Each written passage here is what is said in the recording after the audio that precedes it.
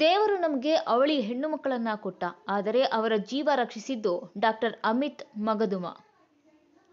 ಪಾಲಕರ ಹೇಳಿ ಅವಧಿ ಪೂರ್ವ ಅವಳಿ ಶಿಶುಗಳ ಜೀವ ಉಳಿಸುವಲ್ಲಿ ಡಾಕ್ಟರ್ ಅಮಿತ್ ಮಗದುಮಗೆ ಯಶಸ್ಸು. ಅವಧಿ ಪೂರ್ವ ಹುಟ್ಟಿದ ಜವಳಿ ಶಿಶುಗಳ ಜೀವವನ್ನ ಉಳಿಸುವುದು ಕಠಿಣ. ಒಂದು ವೇಳೆ ಜೀವ ಉಳಿಸಿದ್ರೂ ಮಗುವಿಗೆ ಬುದ್ಧಿಮಾಂದ್ಯ, ಅಂಗವಿಕಲ, ಕಣ್ಣು ಮತ್ತು ಕಿವಿ ಸಮಸ್ಯೆ ಇರುತ್ತದೆ. ಆದರೆ ಚಿಕ್ಕೋಡಿ ಪಟ್ಟಣದ ದಿವ್ಯಂ ಮಕ್ಕಳ ಆಸ್ಪತ್ರೆಯ ಡಾಕ್ಟರ್ ಅಮಿತ್ ಮಗ್ದೂಮ್ ಅವಳಿ ಮಕ್ಕಳನ್ನು ಉಳಿಸಿ ಇಂದು ಆರೋಗ್ಯವಂತರಾಗಿ ಡಿಸ್ಚಾರ್ಜ್ ಮಾಡಿದ್ದಾರೆ. ಈ ಕುರಿತು ಹೆಚ್ಚಿನ ಮಾಹಿತಿ ಏನಂದ್ರೆ, ನಗರದ ದಿಯಾ ಆಸ್ಪತ್ರೆಯಲ್ಲಿ ಎಕ್ಸಾಂಬಾ ನಿವಾಸಿಗಳಾದ ಸಿದ್ದಪ್ಪ ಸಾತಾವರ್ ಅವರ ಪತ್ನಿ ಅನಿತಾ ಸಾತಾವರ್ ಅವರಿಗೆ ಆರು ತಿಂಗಳು ಎಂಟು ದಿನದಲ್ಲಿ ಅವಧಿಪೂರ್ವ ಹೆರಿಗೆಯಾಗಿ ಅವಳಿ ಹೆಣ್ಣು ಮಕ್ಕಳಿಗೆ ಜನ್ಮ ನೀಡಿದ್ದಾರೆ. ಅಕಾಲಿಕ ಹೆರಿಗೆಯಿಂದಾಗಿ ಅವಳಿಗಳ ತೂಕ ಎಂಟುನೂರ ಮೂವತ್ತು ಮತ್ತು ಎಂಟುನೂರ ತೊಂಬತ್ತು ಗ್ರಾಂ ಇದೆ. ದಿಯಾ ಆಸ್ಪತ್ರೆಯ ವೈದ್ಯರು, ನಗರದ ದಿವ್ಯಂ ಆಸ್ಪತ್ರೆಯ ಮಕ್ಕಳ ತಜ್ಞ ಡಾಕ್ಟರ್ ಅಮಿತ್ ಮಗ್ದುಮ್ ಅವರಿಗೆ ಕರೆಸಿದ್ರು. ನವಜಾತ ಶಿಶುಗಳನ್ನು ಚಿಕಿತ್ಸೆಗಾಗಿ ದಿವ್ಯಂ ಆಸ್ಪತ್ರೆಗೆ ದಾಖಲಿಸಲಾಯಿತು.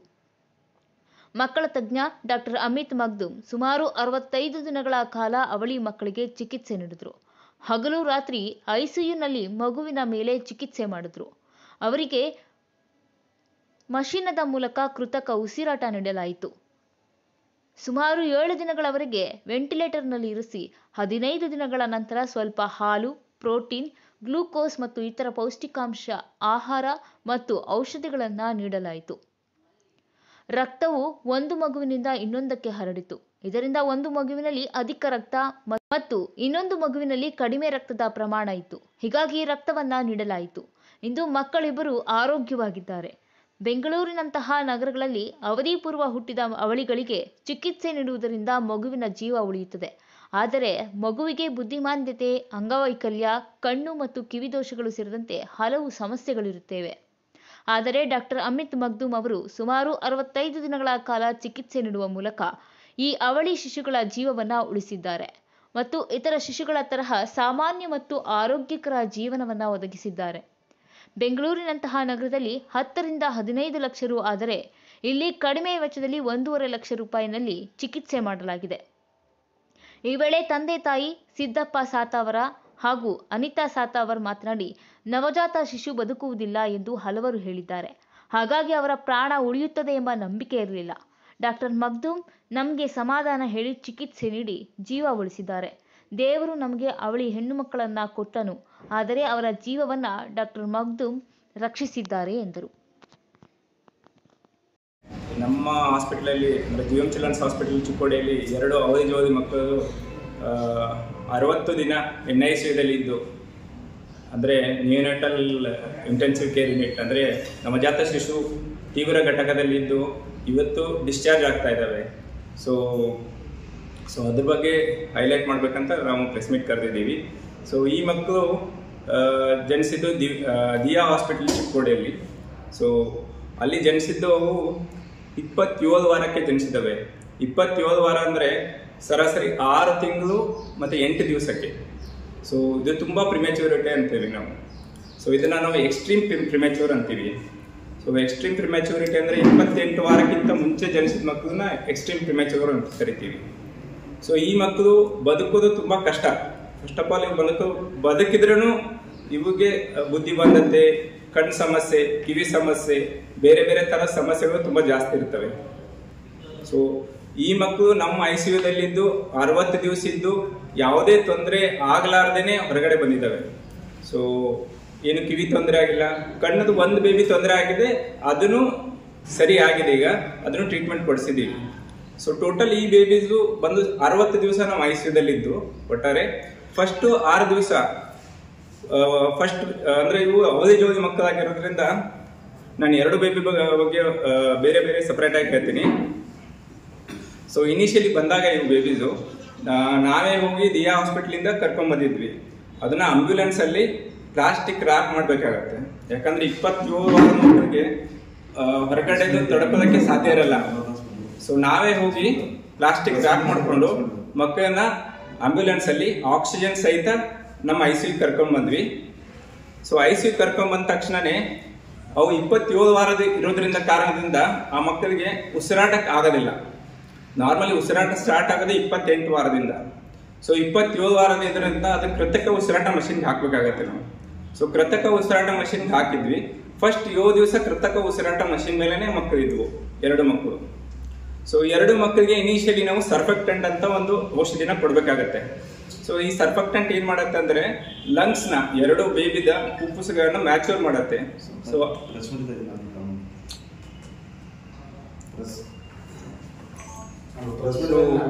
ಆ ಲಂಗ್ ಮ್ಯಾಚುರಿಟಿಗೋಸ್ಕರ ಒಂದು ಔಷಧಿ ಅನ್ನ ಹಾಕ್ಬೇಕಾಗತ್ತೆ. ಅದನ್ನ ಲಂಗ್ಸ್ ಒಳಗಡೆ ಹಾಕ್ಬೇಕಾಗತ್ತೆ. ಇಂಟುಬೇಷನ್ ಮಾಡಿ ಅನ್ನ ಇದು ಅಣ್ಣ ಇದ್ರ ಇದ್ರಲ್ಲಿ. ಶ್ವಾಸ. ಹಾ ಶ್ವಾಸಕೋಶದ ನಾಳದಲ್ಲಿ ಹಾಕ್ಬೇಕಾಗತ್ತೆ. ಸೊ ಆ ಶ್ವಾಸಕೋಶದ ನಾಳದಲ್ಲಿ ಹಾಕ್ಬೇಕಂದ್ರೆ ನಾವು ಇಂಟುಬೇಷನ್ ಮಾಡಿ ಅದನ್ನ ಹಾಕ್ಬೇಕಾಗತ್ತೆ. ಅದನ್ನ ನಾವು ಹದಿನೈದು ಸಾವಿರ ರೂಪಾಯಿ ಕೊಟ್ಟು ಬೆಳಗಾಮಿಂದ ತರಿಸ್ಬೇಕಾಯ್ತು. ಇಲ್ಲಿ ಲೋಕಲ್ ಎಲ್ಲೂ ಸಿಗ್ಲಿಲ್ಲ. ನಾವು ನಾಲ್ಕು ಗಂಟೆ ಇಲ್ಲಿ ಬೆಳಗಾಮಿಂದ ಅದೇ ದಿವಸ ಅದು ವಾರನಾಲ್ಕು ದಿವಸನೇ ತರಿಸಿ ಅದರದ್ದು ಶ್ವಾಸಕೋಶದಲ್ಲಿ ಹಾಕ್ಸಿದ್ವಿ. ಹಾಕ್ಸಿ ಏಳು ದಿವಸ ಟೋಟಲ್ ವೆಂಟಿಲೇಟರ್ ಮೇಲೆ ಇದ್ವು. ಸೊ ಫಸ್ಟ್ ಟೆನ್ ಡೇಸ್ ಅಂದ್ರೆ ಇವು ಇಪ್ಪತ್ತೇಳು ವಾರಕ್ಕೆ ಹುಟ್ಟಿದ್ರಿಂದ ಫಸ್ಟ್ ಟೆನ್ ಡೇಸ್ ನಮಗೆ ಏನು ಡೈರೆಕ್ಟ್ ಆಗಿ ಕೊಡಕ್ಕಾಗಲ್ಲ. ಯಾಕಂದ್ರೆ ಅವ್ರ ಹೆಂಗಿರತ್ತೆ ಅಂದ್ರೆ ಇಪ್ಪತ್ತೇಳು ವಾರ ಅಂದ್ರೆ ಅದ್ರ ಪುಪ್ಸ ಮ್ಯಾಚೂರಿಟಿ ಆಗಿರಲ್ಲ ಕರದ ಮ್ಯಾಚ್ಯೂರ್ ಆಗಿರಲ್ಲ, ತಲೆ ಮ್ಯಾಚೂರ್ ಆಗಿಲ್ಲ, ಏನು ಮ್ಯಾಚೂರ್ ಆಗಿರಲ್ಲ, ಕಿಡ್ನಿನೂ ಮ್ಯಾಚೂರ್ ಆಗಿರಲ್ಲ. ಸೊ ನಾವು ಪುಪ್ಸದ ಮ್ಯಾಚ್ಯೂರಿಟಿಗೆ ಅದು ಸರ್ಫೆಕ್ಟೆಂಟ್ ಅಂತ ಔಷಧಿ ಕೊಟ್ಟಿದ್ವಿ ಬಟ್ ಕರದ ಮ್ಯಾಚೂರಿಟಿ ಆಗಿರಲ್ಲ ಇನ್ನು. ಸೊ ಅದಕ್ಕೋಸ್ಕರ ಅದಕ್ಕೆ ಹಾಲು ಹಾಕಕ್ಕೆ ಬರಲ್ಲ ಡೈರೆಕ್ಟ್ ಆಗಿ. ಸೊ ಇಪ್ಪತ್ತೊಂಬತ್ತು ವಾರ ಆದಮೇಲೆ ಹಾಲು ನಾವು ಯೂಶಲಿ ಸೊ ಅದಕ್ಕೋಸ್ಕರ ನಾವು ಸೆಂಟ್ರಲ್ ಲೈನ್ ಅಂತ, ಹೊಟ್ಟೆಯಲ್ಲಿ ಅಂಬಲಿಕಸ್ ಇರುತ್ತಲ್ಲ, ಕರಲ್ ಬದಿ, ಅದಕ್ಕೆ ಲೈನ್ ಹಾಕೊಂಡು ಅಂದ್ರೆ ಒಂದು ಲೈನ್ ಸಿಗುತ್ತೆ, ಅಂಬಲಿಕ ಲೈನ್ ಅಂತ. ಅದನ್ನ ಹಾಕಿ ಅದ್ರ ಥ್ರೂ ಗ್ಲೂಕೋಸು ಪ್ರೋಟೀನು ಲಿಪಿಡ್ ಇವು ಇಲ್ಲ, ಎಲ್ಲೂ ಸಿಗಲ್ಲ ಯೂಶಲಿ ಇದನ್ನ ಬೆಲ್ಗಮಿಂದ ತರಿಸಿ, ನಾವು ಸ್ವತಃ ತರಿಸಿ ಖುದ್ದಾಗಿ ಅದನ್ನ ಹಾಕ್ಸಿದ್ವಿ. ಸೊ ಅದಾದ ತಕ್ಷಣ ನೆಕ್ಸ್ಟ್ ಹದಿನೈದು ದಿವಸದಿಂದ ನಾವು ಸ್ವಲ್ಪ ಸ್ವಲ್ಪ ಹಾಲನ್ನು ಹಾಕೋಕ್ಕೆ, ಅದು ಪೈಪಿಂದ ಹಾಲಕ್ಕೆ ಸ್ಟಾರ್ಟ್ ಮಾಡಿದ್ವಿ. ಸೊ ಅದಾದ ನಂತರ ಈ ಮಕ್ಕಳಿಗೆ ಸರ್ವೇ ಸಾಮಾನ್ಯವಾಗಿ ಏನೇನು ಸಮಸ್ಯೆ ಆಗುತ್ತೆ ಅಂದರೆ ಎನ್ ಇ ಸಿ ಅಂತೀವಿ ನಾವು. ಎನ್ ಇ ಸಿ ಅಂದರೆ ನೆಕ್ರೋಟೈಸಿಂಗ್ ಎಂಟ್ರೋಪೊಲೈಟಿಸ್ ಅಂತ. ಯೂಶಲಿ ಇದ್ರ ಕರಗ ಎಷ್ಟು ಸೂಕ್ಷ್ಮ ಇರುತ್ತೆ ಅಂದರೆ ಹಾಲ್ ಸ್ಟಾರ್ಟ್ ಮಾಡಿದ್ಮೇಲೆ ಹೊಟ್ಟೆ ಉಬ್ಬಿಡ್ತವೆ. ಹೊಟ್ಟೆ ಉಬ್ಬಿದ್ರೆ ಅದಕ್ಕೆ ಏನು ಮಾಡೋಕ್ಕಾಗಲ್ಲ? ಸೆಪ್ಸಿಸ್ ಏನೂ ಮಾಡೋಕ್ಕೆ ಬರಲ್ಲ. ಸೊ ಒಂದು ಮೂವತ್ತು ವಾರ ಆದಮೇಲೆ ಏನಾದರೂ ಹುಟ್ಟಿದ್ರೆ ಸೆಪ್ಸಿಸ್ ಅಂತ ಎನ್ ಇ ಸಿ ಆಗೋದು ಕಡಿಮೆ ರೇಟ್ ಇರುತ್ತೆ. ಮೂವತ್ತು ವಾರಕ್ಕಿಂತ ಮುಂಚೆ ಹುಟ್ಟಿದ್ರೆ ಸೆಪ್ಸಿಸ್ ರೇಟ್ ಜಾಸ್ತಿ ಇರುತ್ತೆ. ಸೊ ಇದಕ್ಕೆ ಸೆಪ್ಸಿಸ್ ರೇಟು ಮತ್ತು ಎನ್ ಇ ಸಿ ರೇಟು ಅಂದರೆ ಕರದ ಇನ್ಫೆಕ್ಷನ್ ಆಗೋ ರೇಟ್ ತುಂಬ ಜಾಸ್ತಿ ಇರುತ್ತೆ. ಬಟ್ ಆದ್ರೂ ಅವಕ್ಕೆ ಯಾವುದು ಕರದ ಇನ್ಫೆಕ್ಷನ್ ಆಗದೆ ಸೆಪ್ಸಿಸ್ ಆಗದೆ ಹೊರಗಡೆ ಬಂದಿದ್ದಾವೆ ಆಮೇಲೆ ನಾವು ಗ್ರ್ಯಾಜುವಲಿ ಎರಡು ಎಂ ಎಲ್ ಮೂರು ಎಂ ಎಲ್ ನಾಲ್ಕು ಎಂ ಎಲ್ ಐದು ಎಂ ಎಲ್ ಈ ಥರನೇ ಎರಡು ದಿವಸಕ್ಕೆ ಒಂದೊಂದು ಎಂ ಎಲ್ ಜಾಸ್ತಿ ಮಾಡ್ಕೊಂತ ಹೋಗಿ ಹದಿನಾರು, ಹದಿನೈದು ಎಂ ಎಲ್ ರೀಚ್ ಆದ್ವಿ. ಸೊ ಈ ಮಕ್ಕಳಿಗೆ ಇನ್ನೊಂದು ಏನು ಸಮಸ್ಯೆ ಇತ್ತಂದರೆ ಟ್ವಿನ್ ಟು ಟ್ವಿನ್ ಟ್ರಾನ್ಸ್ಫ್ಯೂಷನ್ ಅಂತ. ಟ್ವಿನ್ ಟು ಟ್ವಿನ್ ಟ್ರಾನ್ಸ್ಫ್ಯೂಷನ್ ಅಂದರೆ ಒಂದನೇ ಮಗು, ಮಗುವಿಂದ ಎರಡನೇ ಮಗುವಿಗೆ ರಕ್ತ ಜಾಸ್ತಿ ಹೋಗಿದೆ. ಸೊ ಒಂದನೇ ಮಗುವಿನ ಹಿಮೋಗ್ಲೋಬಿನ್ ಬಂದಾಗ ಇಪ್ಪತ್ತಿತ್ತು. ಎರಡನೇ ಮಗು ಸಾರಿ ಒಂದನೇ ಮಗು ಹಿಮೋಗ್ಲೋಬಿನ್ನು ಹನ್ನೆರಡು ಇತ್ತು ಎರಡನೇ ಮಗು ಹಿಮೋಗ್ಲೋಬಿನ್ ಇಪ್ಪತ್ತಿತ್ತು. ಸೊ ತುಂಬ ಪ್ರಪೋರ್ಷನ್ ಈ ಮಗುವಿಂದ ಈ ಮಗುಗೆ ರಕ್ತ ಹೋಗಿದೆ ಜಾಸ್ತಿ. ಸೊ ರಕ್ತ ಒಂದನೇ ಮಗುವಲ್ಲಿ ಕಡಿಮೆ ಇತ್ತು, ಎರಡನೇ ಮಗುವಲ್ಲಿ ಜಾಸ್ತಿ ಇತ್ತು. ಅದು ಒಂದ್ ನಾಲ್ಕು ವಾರ ಆದ್ಮೇಲೆ ಒಣ್ಣೆ ಮಗುದು ಇನ್ನೂ ತೀರಾ ಕಡಿಮೆ ರಕ್ತ ಇತ್ತು. ಸೊ ಅದಕ್ಕೆ ರಕ್ತ ಹಾಕೋ ಪರಿಸ್ಥಿತಿನೂ ಬಂತು ನಮಗೆ. ಸೊ ಒಣ್ಣೆ ಮಗುವಿಗೆ ನಾವು ಒಂದ್ಸರಿ ರಕ್ತನೂ ಹಾಕ್ತಿದ್ವಿ. ಸೊ ಅದಾದ ತಕ್ಷಣ ನಾವು ದಿನೇ ದಿನೇ ದಿನೇ ದಿನ ಫೀಡ್ಸ್ ಜಾಸ್ತಿ ಮಾಡ್ಕೊಂತ ಹೋದ್ವಿ. ಸೊ ಲಾಸ್ಟ್ಗೆ ಆಮೇಲೆ ನಮಗೆ ಹುಟ್ಟಿದಾಗ ಅವು ಒಣ್ಣೆ ಮಗು ಎಂಟ್ನೂರ ಎಂಟ್ನೂರ ಮೂವತ್ತು ಗ್ರಾಮ್ ಇತ್ತು. ಎರಡನೇ ಮಗು ಬಂದು ಎಂಟ್ನೂರ ತೊಂಬತ್ತು ಗ್ರಾಮ್ ಇತ್ತು. ಸೊ ಹುಟ್ಟಿದ ಹದಿನೈದನೇ ದಿವಸಕ್ಕೆ ಒಂದನೇ ಮಗು ಬಂದು ಏಳ್ನೂರ ಐವತ್ತು ಗ್ರಾಮ್ ಆಗಿತ್ತು ಎರಡನೇ ಮಗು ಏಳ್ನೂರ ಐವತ್ತೈದು ಗ್ರಾಮ್ ಆಗಿತ್ತು. ಹುಟ್ಟಿದ ಹದಿನಾಲ್ಕು ದಿವಸಕ್ಕೆ ಮಗು ತೂಕ ಕಡಿಮೆ ಆಗುತ್ತೆ ಯೂಶಲಿ ಇಪ್ಪತ್ತೊಂದನೇ ದಿವಸಕ್ಕೆ ಮತ್ತೆ ಜಾಸ್ತಿ ಜಾಸ್ತಿ ಹಾಕೊಂತ ಹೋಗಿ ಫುಲ್ ತೂಕ ಹುಟ್ಟಿದ ತೂಕ ಬರುತ್ತೆ. ಸೊ ಇಷ್ಟು ತೂಕ ಕಮ್ಮಿ ಆದ್ರೂ ಮತ್ತೆ ಅವು ಫೀಡಿಂಗ್ ಸ್ಟಾರ್ಟ್ ಮಾಡಿದ್ಮೇಲೆ ದಿನೇ ದಿನ ಗ್ರಾಜುವಲ್ ಆಗಿ ಇಪ್ಪತ್ತರಿಂದ ಮೂವತ್ತು ಗ್ರಾಮ್ ಇಪ್ಪತ್ತರಿಂದ ಮೂವತ್ತು ಗ್ರಾಮ್ ಜಾಸ್ತಿ ಹಾಕೊಂಡು ಹೋಗಿ ಪ್ರೆಸೆಂಟ್ ವೇಟಿಗೆ ಬಂದಿದ್ದಾವೆ ಆಮೇಲೆ ಈ ಮಕ್ಕಳಲ್ಲಿ ಹೆಂಗಿರುತ್ತೆ ಅಂದ್ರೆ ಆ, ಒಂದು ಪುಪ್ಪಸ್ ಮ್ಯಾಚುರಿಟಿ ಇರಲ್ಲ, ಎರಡನೇದು ಕರದ ಮ್ಯಾಚುರಿಟಿ ಇರಲ್ಲ. ಇವೆರಡು ಟ್ಯಾಕಲ್ ಮಾಡಿದ್ವಿ ನಾವು. ಇಷ್ಟೆಲ್ಲ ಆದ್ರೂ ಇಪ್ಪತ್ತೇಳು ವಾರ ಹುಟ್ಟಿದ ಮಕ್ಕಳಿಗೆ ತಲೆ ಪ್ರಾಬ್ಲಮ್ ಇರುತ್ತೆ. ಯಾಕಂದ್ರೆ ತಲೆನು ಬ್ರೈನ್ ಮ್ಯಾಚುರ್ ಆಗಿರಲಿಲ್ಲ. ಸೊ ನಾವು ಏನಾದರೂ ಒಂದು ಸ್ವಲ್ಪ ಹೆಚ್ಚು ಕಡಿಮೆ ಆದ್ರೂ ಆಕ್ಸಿಜನ್ ಏರುಪೇರು ಆದ್ರೂ ಇಲ್ಲ ಸೆಪ್ಸಿಸ್ ಆದ್ರೂ ಇಲ್ಲ ಎನೀಸ್ ಅಂತೀವಿ ನೆಕ್ರೋಟೈಸಿಂಗ್ ಎಂಟ್ರೋಪ್ಲೈಟ್ಸ್ ಆ ಥರ ಆದ್ರೂ ಇವತ್ತಕ್ಕೆ ರಕ್ತ ಸ್ವಲ್ಪ ಕಡಿಮೆ ಬಿದ್ದರೂ ತಲೆಗೆ ಎಫೆಕ್ಟ್ ಆಗುತ್ತೆ. ಇವನ್ ಡೆಲಿವರಿಯಲ್ಲಿ ಆದ್ರೂ ಆದರೂ ಡೆಲಿವರಿ ಆದಮೇಲೆ ಆದ್ರೂ ಇದೇನೋ ತಲೆಗೆ ಎಫೆಕ್ಟ್ ಆಗುತ್ತೆ. ತಲೆಗೆ ಎಫೆಕ್ಟ್ ಆದರೆ ಮುಂದೆ ಬುದ್ಧಿ ಬುದ್ಧಿಮಾಂದ್ಯಗಳಾಗ್ಬೋದು ಎರಡು ಮಕ್ಕಳು. ನಾವಿಷ್ಟೆಲ್ಲ ಗುದ್ದಾಡಿ ಮಾಡಿ ಎಲ್ಲ ಇಷ್ಟೆಲ್ಲ ಟ್ರೀಟ್ಮೆಂಟ್ ಕೊಟ್ಟರು ಬುದ್ಧಿಮಾಂದ್ಯ ಆಗೋ ಸಾಧ್ಯತೆಗಳು ಜಾಸ್ತಿ ಇರ್ತವೆ ಈ ಮಕ್ಕಳಿಗೆ. ಯಾಕಂದ್ರೆ ಇಪ್ಪತ್ತೆಂಟು ವಾರಕ್ಕಿಂತ ಮುಂಚೆ ಹುಟ್ಟಿದ್ರೆ ಅವು ಬುದ್ಧಿಮಾಂದ್ಯ ಆಗೋ ತುಂಬಾ ಚಾನ್ಸಸ್ ಇರುತ್ತೆ. ಸೊ ಆ ಆ ನಿಟ್ಟಿನಿಂದ ನಾವು ಒಂದು ಸ್ವಲ್ಪನೂ ಕಡಿಮೆ ಅದಕ್ಕೆ ಹಾಕೋಬಿಡ್ಲಿಲ್ಲ.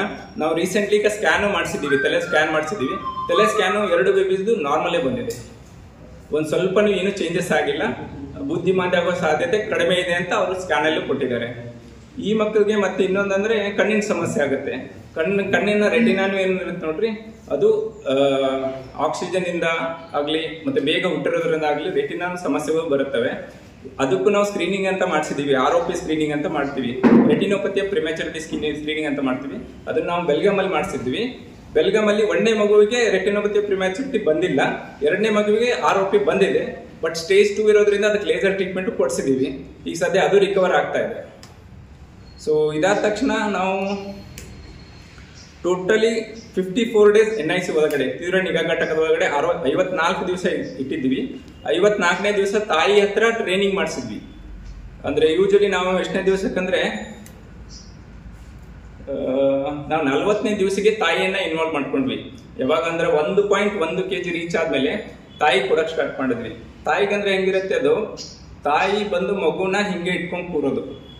ತಾಯಿ ಮಗು ಒಂದೇ ಹಿಂಗೆ ಇಟ್ಕೊಂಡು ಕೂರೋದು. ಕೆ ಎಂ ಸಿ ಅಂತೀವಿ. ಕಾಂಗರು, ಮದರ್ ಕೇರ್ ಅಂತೀವಿ. ಈಗ ಕಾಂಗರು ಹೆಂಗೆ ಆಸ್ಟ್ರೇಲಿಯಾ ದೇಶದಲ್ಲಿ ಒಂದು ತಾ ಬೇಬಿನ ಹಿಂಗೆ ಇಟ್ಕೊಂಡು ಕೂರ್ತಾವೆ ನೋಡ್ರಿ. ಹಂಗೆ ಕಾಂಗರು, ಮದರ್ ಕೇರ್ ಕೊಡ್ತೀವಿ. ಹಂಗಂದ್ರೆ ಹಂಗಾದಾಗ ಏನಾಗುತ್ತೆ ಅಂದ್ರೆ ತಾಯಿ ಮತ್ತು ಮಗು ಒಂದಕ್ಕೆ ಒಂದು ಸ್ಕಿನ್ ಕಾಂಟ್ಯಾಕ್ಟ್ ಬರುತ್ತೆ. ಸ್ಕಿನ್ ಕಾಂಟ್ಯಾಕ್ಟ್ ಬಂದಾಗ ಮಗು ತಾಯಿಗೆ ಹೆಚ್ಚು ಹಾಲು ಬರುತ್ತೆ. ಮಗುಗೆ ಹೆಚ್ಚು ಆಕ್ಟಿವಿಟಿ ಆಗುತ್ತೆ ಬ್ರೈನ್ ಡೆವಲಪ್ಮೆಂಟ್ ಆಗುತ್ತೆ ಮ್ಯಾಚುರಿಟಿ ಆಗುತ್ತೆ ಕರಲ್ ಮ್ಯಾಚುರಿಟಿ ಆಗುತ್ತೆ, ಎಲ್ಲ ಮ್ಯಾಚುರಿಟಿ ಜಾಸ್ತಿ ಆಗುತ್ತೆ. ಸೊ ಅದರಿಂದ ತೂಕನು ಬೇಗ ಬೇಗ ಜಾಸ್ತಿ ಆಗುತ್ತೆ. ಸೊ ಮಗು ತೂಕ ಬೇಗ ಬೇಗ ಜಾಸ್ತಿ ಆಗೋ ಸಲುವಾಗಿ ನಾವು ಆ ನಿಟ್ಟಿನಿಂದ usually K M C practice ಇಲ್ಲಿ ಯಾರು ಮಾಡಲ್ಲ. ಸೊ ಆ ಪ್ರಾಕ್ಟೀಸ್ ನಾವು ಮಾಡಿದ್ವಿ. ಆ ಪ್ರಾಕ್ಟೀಸ್ ಮಾಡೋದ್ರಿಂದ ದಿನಕ್ಕೆ ಹತ್ತು ಗ್ರಾಮ್ ಇಪ್ಪತ್ತು ಗ್ರಾಮ್ ಜಾಸ್ತಿ ಆಗೋದು ಬಂದು ಮೂವತ್ತು ಗ್ರಾಮ್ ನಲವತ್ತು ಗ್ರಾಮ್ ಜಾಸ್ತಿ ಆಯಿತು. ಸೊ ಆ ನಿಟ್ಟಿನಿಂದ ಐವತ್ನಾಲ್ಕು ದಿವಸದಲ್ಲಿ ನಾವು one point five K G reach ಆದ್ವಿ ಎರಡು ಬೇಬಿಗೆ ಅಂದ್ರೆ ನಾವು ಏಳ್ನೂರ ಐವತ್ತು ಗ್ರಾಮ್ ಹದಿನೈದನೇ ದಿವಸದಿಂದ ಐವತ್ತನೇ ನಾಲ್ಕನೇ ದಿವಸಕ್ಕೆ one point five grams reach ಆಗೋದು ಬಹಳ ಕಷ್ಟದ ಕೆಲಸ ಆ್ಯಕ್ಚುಲಿ ಬಟ್ ನಾವು ಇದು ಕೆ ಎಂ ಸಿ ಪ್ರಾಕ್ಟೀಸು ಮತ್ತೆ ಇದು ಫೀಡಿಂಗ್ ಪ್ರಾಕ್ಟೀಸು ಚೆನ್ನಾಗಿ ಮಾಡಿದ್ರಿಂದ ಮತ್ತೆ ಅದಕ್ಕೆ ಸ್ಪೆಷಲ್ಲಿ ಹಾಲು ತರಿಸಿ, ಹಾಲಲ್ಲಿ ಎಚ್ ಎಂ ಎಫ್ ಅಂತೀವಿ ಹ್ಯೂಮನ್ ಮಿಲ್ಕ್ ಫಾರ್ಟಿಫೈಯರ್ಸ್ ಅಂತ. ಅದನ್ನು ಬೆಲ್ಗಾಮಿಂದ ತರಿಸಿ, ಹಾಕ್ಸಿ ಯಾಕಂದ್ರೆ ತೂಕ ಜಾಸ್ತಿ ಆಗ್ಬೇಕಂದ್ರೆ ಆ ಹ್ಯೂಮನ್ ಮಿಲ್ಕ್ ಫಾರ್ಟಿಫೈರ್ಸ್ ಬೇಕಾಗತ್ತೆ. ಸೊ ಅದನ್ನು ತರಿಸಿ, ಅದನ್ನು ಹಾಕ್ಸಿದೀವಿ.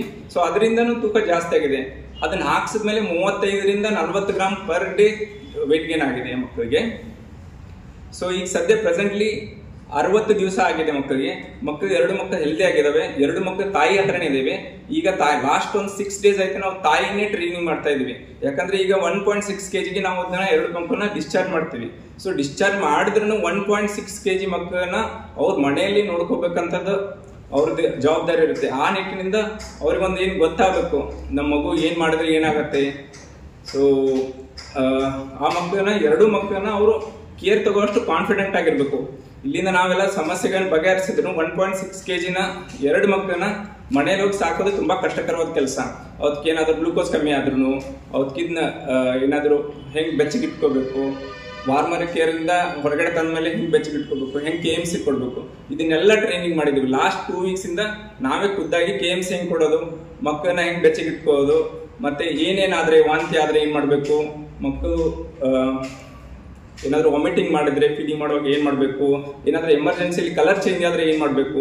ಅವ್ರಿಗೊಂದು ಅಂಬು ಬ್ಯಾಗ್ ಅಂಬು ಬ್ಯಾಗ್ ಅಂದರೆ ನಾವು ಎಮರ್ಜೆನ್ಸಿಲಿ ಅಂಬು ಬ್ಯಾಗ್ ಅಂತ ಇರ್ತೀವಿ. ಅವ್ರು ತರಿಸಿ ಅವ್ರಿಗೆ ಟ್ರೈನಿಂಗ್ ಸುಧಾ ಮಾಡಿದ್ದೀವಿ ಅಂಬು ಬ್ಯಾಗಿಂದ ಇಂದ. ಇದೆಲ್ಲ ಫೆಸಿಲಿಟೀಸ್ ಯೂಶಲಿ ಎಲ್ಲಿ ಬರುತ್ತೆ ಅಂದರೆ ಬೆಂಗಳೂರು ಸಿಟಿ ಅಂತ ಅಂಥ ಸಿಟಿಯಲ್ಲಿ ಮಾತ್ರ ಬರೋದು. ಯಾಕಂದರೆ ಇಪ್ಪತ್ತೇಳು ವಾರಕ್ಕಿಂತ ಮುಂಚೆ ಹುಟ್ಟಿದ್ದು, ಅದು ಇಷ್ಟು ಚೆನ್ನಾಗಿ ಹೊರಗಡೆ ಬರೋದು ತುಂಬ ರೇರ್ ತುಂಬ ಅಂದರೆ ತುಂಬ ರೇರ್ ಅದು ನಮ್ಮಲ್ಲಿ ಈ ತಾಲೂಕಾ ಲೆವೆಲ್ ಅಲ್ಲಿ ಅಥವಾ ಜಿಲ್ಲಾ ಲೆವೆಲ್ ಇವನ್ ಜಿಲ್ಲಾ ಲೆವೆಲ್ ಅಲ್ಲೂ ಹೊರಗಡೆ ಬಂದ್ರೂ ಬುದ್ಧಿಮಾಂದ್ಯ ಆಗೋ chances eighty to ninety percent ಇರುತ್ತೆ. ಇವನ್ ಬ್ಯಾಂಗ್ಳೂರಲ್ಲೇನೂ ಒಂದು ಫಾರ್ಟಿ ಟು ಫಿಫ್ಟಿ ಪರ್ಸೆಂಟ್ ಬುದ್ಧಿಮಾಂದ್ಯ ಆಗೋ ಚಾನ್ಸಸ್ ಇರುತ್ತೆ. ನಾನ್ ಬೆಂಗಳೂರಲ್ಲಿ ವರ್ಕ್ ಮಾಡುವಾಗನು ಒಂದು ಐನೂರ ಐವತ್ತು, ಆರ್ನೂರು ಗ್ರಾಮ್ ಹೊರಗಡೆ ತಂದಿದ್ದೀವಿ ಬಟ್ ಅವೆಲ್ಲ ಬುದ್ಧಿಮಾಂದ್ಯನೇ ಆಗಿದಾವೆ. ಕಣ್ಣೆಲ್ಲ ಆರೋಪಿ ಆಗಿದೆ, ಆಮೇಲೆ ನೀಸ್ ಆಗಿದೆ ಸೆಪ್ಸಿಸ್ ಆಗಿದೆ, ತುಂಬಾ ಕಾಂಪ್ಲಿಕೇಶನ್ ಆಗಿ ಹೊರಗಡೆ ಬರುತ್ತೆ.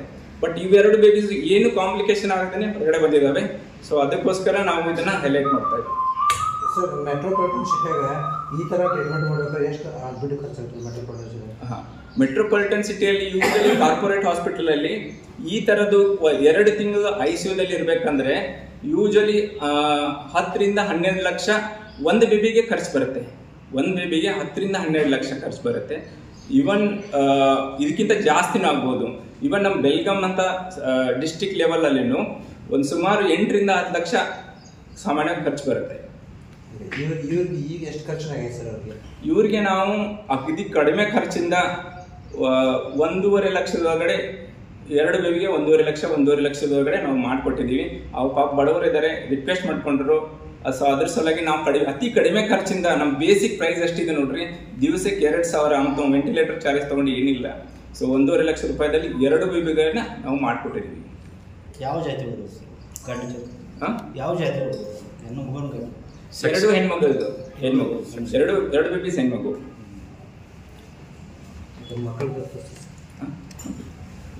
ಅದು ಯಾಕಂದ್ರೆ ನಾವು ಟ್ರೈನ್ ಇನ್ ನಾವು ಬೆಂಗಳೂರಲ್ಲಿ ಟ್ರೈನ್ ಆಗಿದ್ದೀವಿ. ನಾವು ಫೆಲೋಶಿಪ್ ಮಾಡಿದ್ದೀವಿ. ಓಕೆ ನಮ್ದು ಡಿಗ್ರಿ ಬಂದು ನಾನು ಎಂ ಬಿ ಬಿ ಎಸ್ ಮಾಡಿದ್ದು S T M medical college ಧಾರವಾಡಲ್ಲಿ. D C H ಮಾಡಿದ್ದು ಬ್ಯಾಂಗ್ ಬ್ಯಾಂಗ್ಳೂರ್ ಮೆಡಿಕಲ್ ಕಾಲೇಜ್ ಪ್ರತಿಷ್ಠಿತ ಬ್ಯಾಂಗ್ಳೂರ್ ಮೆಡಿಕಲ್ ಕಾಲೇಜಲ್ಲಿ ಮಾಡಿದ್ದೀವಿ. ಬ್ಯಾಂಗ್ಳೂರ್ ಮೆಡಿಕಲ್ ಕಾಲೇಜ್ ಬ್ಯಾಂಗ್ಳೂರಲ್ಲೇ ಸೊ ಅದಾದ ನಂತರ ನಾವು ಎಂ ಡಿ ಪೀಡಿಯಾಟ್ರಿಕ್ಸ್ ಬಂದು J J M C Davangere ಅಲ್ಲಿ ಮಾಡಿದ್ದು. ಅದಾದ ನಂತರ ಫೆಲೋಶಿಪ್ ಬಂದು ಆಸ್ಟ್ರಿಸ್ ಸಿ ಎಂ ಐ ಅಲ್ಲಿ ಮಾಡಿದ್ದು. ಅದನ್ನು paediatric I C U fellowship ಮುಗಿದಿದೆ ನಮ್ಮದು ಅದಾದ, ಅದಾದಮೇಲೆ ಮೂರು ವರ್ಷ ನಾನು ಐ ಸಿ ಯುದಲ್ಲೇ ಟ್ರೈನಿಂಗ್ ಮಾಡ್ಕೊಂಡಿದ್ದೀನಿ. ಒಂದು ಮದರ್ಹುಡ್ ಹಾಸ್ಪಿಟಲು ಒಂದು Aster C M I hospital ಆಮೇಲೆ ಒಂದು ಸ್ಪರ್ಶ್ ಹಾಸ್ಪಿಟಲ್ ಮೂರು ಹಾಸ್ಪಿಟಲಲ್ಲಿ ನಾನು ಮೇನ್ಲಿ ಐ ಸಿ ಯುದಲ್ಲಿ ಕೆಲಸ ಮಾಡಿರೋದ್ರಿಂದ ಇಂಥ ಕೇಸನ್ನ ತುಂಬ ಹ್ಯಾಂಡಲ್ ಮಾಡಿದ್ದೀನಿ. ಸೊ ಇಲ್ಲಿ ಯಾರು ಇಂಥ ಕೇಸಸ್ ಹ್ಯಾಂಡಲ್ ಮಾಡಲ್ಲ. ಮಾಡಿದ್ರೂ ಬುದ್ಧಿಮಂದೆ ಆಗುತ್ತೆ ಬಟ್ ಅದಕ್ಕೆ ಎಕ್ಸ್ಪೀರಿಯನ್ಸ್ ಬೇಕು. ಯಾವ ತಕ್ಷಣದಲ್ಲಿ ಏನು ಮಾಡಬೇಕು ಏನು ಮಾಡಬೇಕು, ಹೆಂಗೆ ಬೇಬೀಸ್ ತರಬೇಕು. ಇವನ್ ನಾವು ಬೇಬೀಸ್ ತರಬೇಕಂದ್ರೂ ಅದು ಪ್ಲಾಸ್ಟಿಕ್ ರ್ಯಾಪಲ್ಲಿ ರ್ಯಾಪ್ ಮಾಡಿಕೊಂಡು ಹೀಟ್ ಲಾಸ್ ಆಗೋದಂತ ಅಲ್ಲಿಂದ ಹುಟ್ಟಿದ ತಕ್ಷಣನೇ ಚಿಪ್ ಮಾಡಿದ್ದೀವಿ. ಇವನ್ ಅವ್ರ ಪೇರೆಂಟ್ಸ್ಗೂ ಒಂದು ಸ್ವಲ್ಪ ಹೋಪ್ ಇರಲಿಲ್ಲ ಕಿ ಮಗು ಬದುಕತ್ತೆ ಅಂತ. ಇವನ್ ಆಬ್ಸ್ಟಟೇಷನ್ ಇಲ್ಲಿ ಆಬ್ಸ್ಟಟೇಷನ್ ನೋಡ್ರಿ ಸರ್ ಈ ಒಂದ್ ಎರಡು ಮೂರು ದಿವಸ ಬದುಕಿದ್ರೆ ಬದುಕ್ತವೆ ಎಷ್ಟಾಗತ್ತೆ ಅಷ್ಟು ಟ್ರೈ ಮಾಡ್ರಿ ಅಂತ ಕೈ ಬಿಟ್ಟಿದ್ದು. ಬಟ್ ನಾವು ಹಂಗೆ ಬಿಡಲಿಲ್ಲ ನಾವು ಹಂಡ್ರೆಡ್ ಪರ್ಸೆಂಟ್ ಕಮಿಟ್ಮೆಂಟ್ ಕೊಟ್ವಿ ಬೇಬಿಗೂ ಅದು ಎಲ್ಲನೂ ಹೊರಗಡೆ ಬಂದರು ಈಗ ಅವರೇ ಕಾಂಟ್ಯಾಕ್ಟ್ ಮಾಡಿದ್ರು ಸರ್ ಹಾ ಅವರೇ ಕಾಂಟ್ಯಾಕ್ಟ್ ಮಾಡಿದ್ದು. Initially twenty seven plus twenty seven plus two weeks twenty seven weeks ನಾವು ಕಾಂಟ್ಯಾಕ್ಟ್ ಮಾಡಿದ್ದು. ಅದು ತಾಯಿ ಕಾರಣಕ್ಕೋಸ್ಕರ ಅದು ನೀರು ಹೋಗೋಕ್ಕೆ ಸ್ಟಾರ್ಟ್ ಮಾಡಿದ್ವಿ. ಸೊ ಆ ತಕ್ಷಣ ಡೆಲಿವರಿ ಇನ್ನೋವೇಟೇಬಲ್ ಆಗುತ್ತೆ. ಡೆಲಿವರಿ ಇನ್ನೋವೇಟೇಬಲ್ ಆದ್ರೆ ಇಪ್ಪತ್ತೇಳು ವಾರ ಅಂದ್ರೆ ಉಸಿರಾಡ್ತವೆ. ಯೂಶಲಿ ಇಪ್ಪತ್ತೇಳು ವಾರಕ್ಕಂದ್ರೆ ಇಲ್ಲೆಲ್ಲ ಏನು ಮಾಡ್ತಾರೆ ಅಂದ್ರೆ, ನಾವು ಪಿ ಜಿ ಮಾಡುವಾಗ ಏನು ಮಾಡ್ತಾರೆ ಅಂದರೆ, ಒಂದು ಎಷ್ಟು ಬದುಕ್ತಾವೆ ಬದುಕ್ ಬಿಡ್ಲಿ ಅಂತ ಸುಮ್ಮನೆ ಆಕ್ಸಿಜನ್ ಹಚ್ಚಿ ಬದುಕ್ತಾವೆ ಬದು, ಅಂದರೆ ಇಟ್ಬಿಡ್ತಾರೆ. ಯೂಶಲಿ ಒಂದು ಐದು ತಾಸು, ಆರು ತಾಸು ಬದುಕಿ ಆಮೇಲೆ ಸತ್ತೋಗ್ತಾರೆ ಬಟ್ ಯೂಶಲಿ ಅದನ್ನ ಯಾರು ಇಲ್ಲಿ ಯಾರು ಅಷ್ಟು ಕೇರ್ ತಗೊಂಡು ಮಾಡಲ್ಲ. ಸೊ ನಮ್ಮದು ವೆಂಟಿಲೇಟರ್ ಇದ್ದು ಸಿ ಪ್ಯಾಪ್ ಇದ್ದು, ಆಮೇಲೆ ಚೆನ್ನಾಗಿ ಥರ್ಮಲ್ ಕೇರ್ ಇದ್ದು ನಮ್ದು ಎಷ್ಟು ರೆಸ್ಪಾನ್ಸಿಬಿಲಿಟಿ ಆಗುತ್ತೆ ನೋಡ್ರಿ, ನಮ್ದು ನರ್ಸಿಂಗ್ ಸ್ಟಾಫ್ ಅಷ್ಟೇ ರೆಸ್ಪಾನ್ಸಿಬಿಲಿಟಿ ಆಗುತ್ತೆ. ನಾವೇನೇ ಇನ್ಸ್ಟ್ರಕ್ಷನ್ ಕೊಡ್ತಾ ಇರ್ಬೋದು ಬಟ್ ಅವ್ರು ಹ್ಯಾಂಡ್ ವಾಶ್ ಇಟ್ಕೊಂಡು ಪ್ರತಿ ಸಾರಿ ಬೇಬಿ ಮುಟ್ಟಬೇಕಂದ್ರೆ ಅವ್ರು ಹ್ಯಾಂಡ್ ವಾಶ್ ಮಾಡಬೇಕಾಗುತ್ತೆ ಹ್ಯಾಂಡ್ ಸ್ಟೆರಿಲೈಸೇಷನ್ ಮಾಡ್ಕೋಬೇಕಾಗುತ್ತೆ. ನಾವು ಮೂರು ಸರಿ ಟೋಟಲ್ ನಾವು ಮೂರು ಸರಿ ಇನ್ವೆಸ್ಟಿಗೇಷನ್ ಮಾಡಿದಾಗ ಮೂರು ಸರಿ ಒಂದು ಸ್ವಲ್ಪ ಸಕ್ಸಸ್ ಬಂದಿಲ್ಲ. ಅದು ಅಗ್ದಿ ಮೇನ್ಲಿ ಹೈಲೈಟ್ ಮಾಡೋ ವಿಷಯ ಅದೇ. ಯಾಕಂದ್ರೆ ಯೂಶಲಿ ಒಂದು ಬೇಬೀಸ್ನ ಅಡ್ಮಿಟ್ ಮಾಡಿದ್ರೆ ಮೂರನೇ ನಾಲ್ಕನೇ ದಿವಸಿಗೆ ಆ ಕಡೆ ಮುಟ್ಟಿದ್ದು, ಈ ಕಡೆ ಮುಟ್ಟಿ, ಈ ಕಡೆ ಮುಟ್ಟಿದ್ದು, ಆ ಕಡೆ ಮುಟ್ಟರೆ ಸಕ್ಸಸ್ ಆಗುತ್ತೆ. ನಾವು ಟೋಟಲ್ ಮೂರು ಸಲ ಇನ್ವೆಸ್ಟಿಗೇಷನ್ ಮಾಡಿದ್ರೆ ಮೂರು ಸಲನೂ ಸಕ್ಸಸ್ ಬಂದಿಲ್ಲ. ಈವನ್ ದಿ ಹಾಸ್ಪಿಟಲ್ ಮೇಡಮ್ನು ಫುಲ್ಲು ಶಾಕ್ ಆಗಿದ್ದಾರೆ. ಯಾಕಂದರೆ ಇಷ್ಟು ಬೇಬಿಗಳು ಇಲ್ಲಿ ಉದಿಯೋದಿಲ್ಲ. ಕೋರೆ ಹಾಸ್ಪಿಟ್ಲಲ್ಲಿ ಇಪ್ಪತ್ತೆಂಟು ವಾರದ್ದು ಉದಿದಾವೆ. ಬಟ್ ಬೆಲ್ಗಾಮಲ್ಲಿ ಐ ಡೋಂಟ್ ನೋ ಎಷ್ಟು ಮಾಡಿದ್ದಾರೆ. ಬಟ್ ಯೂಶಲಿ ಬೆಂಗಳೂರಲ್ಲಿ ಮಾತ್ರ ಉದಿಯೋದು. ಉಳಿದ್ರೂ ಏಯ್ಟಿ ಟು ನೈಂಟಿ ಪರ್ಸೆಂಟ್ ಬುದ್ಧಿಮಾನ್ಯ ಚಾನ್ಸಸ್ ತುಂಬ ಜಾಸ್ತಿ ಇರುತ್ತೆ ಫಸ್ಟ್ ರೀ ಫಸ್ಟ್ ಬೇಗ ರೀ ಇವ ನಮ್ಗೆ ಎಲ್ಲ ಕೇಳಿದ್ರೆ ಟ್ವೆಂಟಿ ಸೆವೆನ್ ಉಳಿಯಂಗಿಲ್ಲ ಬಟ್ ಏನು ದುಡ್ಡು ಹಾಕೋಬೇಕು ಖರ್ಚು ಮಾಡಬೇಡ್ರಿ, ಸುಮ್ಮ ತಗೊಂಬಿಟ್ರಿ ಅವ್ರಾಗ. ಭಾಳ ಜನ ಹೇಳ್ರಿ ಸರ್ ಭಾಳ ಮಂದಿ ಕೇಳಿದ್ವಿ ನಾವು ರೀ ಬಟ್ ಸರ್ ಹೋಗಿ ಇಲ್ಲ ಮಾಡೋನು ಟ್ರಾಯ ಎಷ್ಟು ಆದಷ್ಟು ಮಾಡೋನು. ಸರ್ ಹೋಗಿ ಕೊಟ್ಟಂಗೆ ನಮ್ಮ ಮಕ್ಕಳನ್ನ ಬದುಕಿಸ್ಕೊಟ್ರಿ ನಮಗೆ ನಮ್ಮ ಬಾಲ್ ದೇವ್ರ ಅಂದ್ರೆ ಸರ್ ಅನ್ನಬೇಕ್ರಿ ಯಾಕಂದ್ರೆ ಮಕ್ಕಳು ಕೊಟ್ಟು ದೇವ್ರ ಬಟ್ ಬದುಕಿಸ್ಕೊಟ್ಟವ್ರು ಸರ್ ರೀ. ಅದಕ್ಕಾಗಿ ನಾವು ನಮ್ಮ ಬಾಲ್ ದೇವ್ರ ಅಂತ ಸರ್ ಅಂತೀವಿ ರೀ ಮತ್ತು ಈಗ ಪೂರ್ತಿ ಹೆಲ್ದಿದ್ದಾರೆ ಸರ್. ಮತ್ತು ಇಲ್ಲಿ ಸ್ಟಾಪ್ ಆಗಲಿ ಸರ್ ಆಗಲಿ ಫುಲ್ ಕೇರ್ ಮಾಡಿರಿ ಸರ್ ಸರ್ ನೈಟ್ ಕೂಡ ಎರಡರಿಂದ ಮೂರು ಸಲ ಬಂದು ವಿಸಿಟ್ ಮಾಡ್ತೀರಿ ಸರ್ ಇನ್ ಕೇಸ್ ಕರ್ಯಾಕ್ ಹೋದ್ರೆ ಬರ್ಲತ್ತೀರಿ ಸರ್ ಬೇರೆದ ಬೇರೆ ಹಾಸ್ಪಿಟಲ್ ಬಟ್ ಸರ್ ತಾವ ನಮ್ಗೆ ಗುರ್ತು ಬರಲ್ಲ ಸರ್ ಸರ್ ಬಂದು ನೋಡಿದ್ರೆ ಅಂದ್ರೆ ಅಷ್ಟು ಕೇರ್ ಮಾಡಿ ನಮ್ಮ ಮಕ್ಕಳು ಬದುಕಿಸ್ಕೊಟ್ಟಾರ್ರಿ. ಸರ್ಗೆ ತುಂಬ ದಿನ ಹೇಳ್ತೇನೆ ರೀ ನಿಮ್ಗೆ ಅನಿಸುತ್ತೆ ನಮ್ಮ ಮಕ್ಕಳು ಬದುಕಬಹುದು ಅಂತೇಳಿ ಅಡ್ಮಿಟ್ ಮಾಡಿದಾಗ? ನನಗೇನು ಅನಿಸಿಲ್ಲ ಸರ್ ಯಾಕಂದ್ರೆ ಅಲ್ಲಿ ಡೆಲಿವರಿ ಆದಾಗ ಸಕಟ್ ಅಲ್ಲಿ ಅಂದಿರ್ರಿ. ಚಾನ್ಸಸ್ ಕಮ್ಮಿ ಇದೆ ಬಟ್ ನೀವು ಸುಮ್ಮನೆ ಟ್ರೈ ಮಾಡಕ್ಕೆ ಹೋಗಬೇಡ್ರಿ ಹೋಪ್ ಇಟ್ಕೋಬೇಡ್ರಿ. ಹೇಳಿರಿ ಬಟ್ ಸರ್ ಬಯಸ್ಕೊಟ್ರಿ ಓಕೆ ಅಕ್ಕ ಅವ್ರು ನಿಮ್ಮ ಮಕ್ಳಾಗ ಈಗ ನಿಮ್ಮ ತ ನಿಮ್ಗೆ ತೊಗೊಂಡ್ಮೇಲೆ ನಿಮ್ಗೆ ಹೆಂಗೆ ಅನ್ಸತ್ತೆ ರೀ ನಿಮ್ಮ ಮಕ್ಕಳು ನಿಮ್ಮ ಕೈಯಾಗ ತೊಗೊಂಡ್ಮೇಲೆ ಈಗ? ಹಾಂ ಮೊದ್ಲು ನಿಮ್ಗೆ ಅನಿಸ್ತೀರಿ ಅನಿಸ್ತೇನ್ರಿ ಮಕ್ಳು?